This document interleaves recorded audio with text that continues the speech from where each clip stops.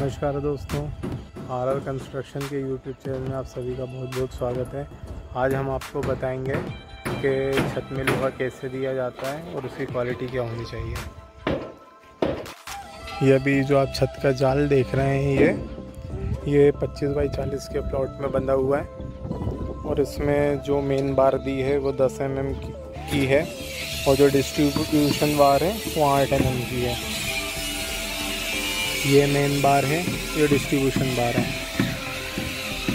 इसको जो बांधा गया है, वो पाँच बाई पाँच और छः बाई छः, पाँच और छः से ये छत बंदी है। इन दोनों के बीच में पाँच इंच का डिफरेंस है, इन दोनों के बीच में छः इंच का डिफरेंस है। और जो इसका बीम दिया गया है बीम में पाँच राडे बारह एम की दी गई हैं। ये मैं आपको अभी बीम दिखा रहा हूँ। एक, दो तीन, चार, पाँच पाँच राडे इसमें पूरी बारह एम की सलंग डली हुई हैं। और ये जो छत बंदी है, ये वन वे में बंधी हुई है। आप देख रहे हैं, ये पूरी छत वन वे में बंदी है।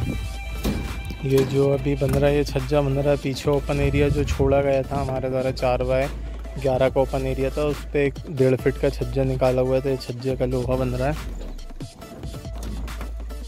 ये देखिए, ये हमारे पप्पू भाई है, ये लोहे का काम करता है, हमारे इनका काम एक नंबर है, बिल्कुल।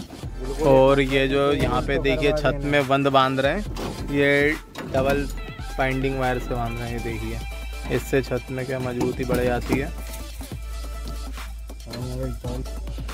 तो ये हज़ार स्क्वायर फीट पे छत बंदी है। हमारे चैनल को लाइक सब्सक्राइब करिए। आगे बढ़ाइए। धन्यवाद।